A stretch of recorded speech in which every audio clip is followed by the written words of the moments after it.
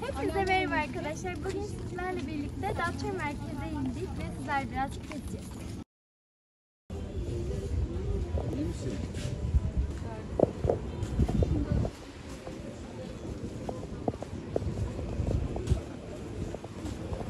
Arkadaşlar ben sarmamı yedim. Sizlere birkaç fotoğraf koyacağım şimdi.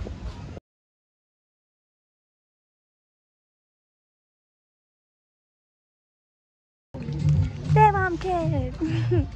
Denizin turkuazlarına bakın. Arkadaşlar şimdi biz dondurma almaya geldik.